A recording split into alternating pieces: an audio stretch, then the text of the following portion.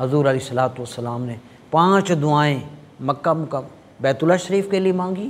اور پانچ دعائیں اپنی امت کے لیے مانگی۔ سنیے،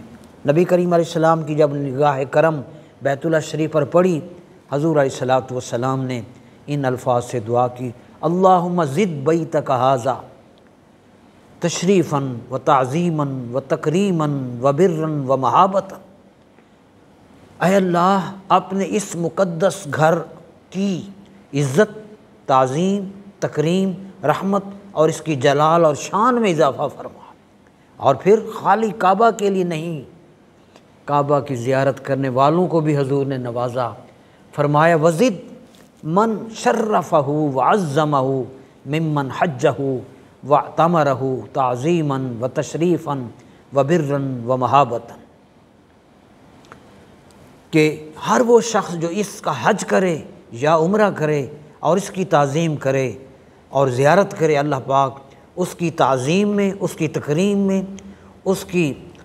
بڑائی اور بزرگی میں، نیکی میں اور عزت میں اضافہ فرما۔ یہ حضور علیہ السلام نے پانچ دعائیں مانگی اس لیے ہمیں بھی اجتماعی دعاؤں کی ضرورت ہے۔ آخر میں حضرت آدم علیہ السلام کی دعا، جو کشف الغمہ اور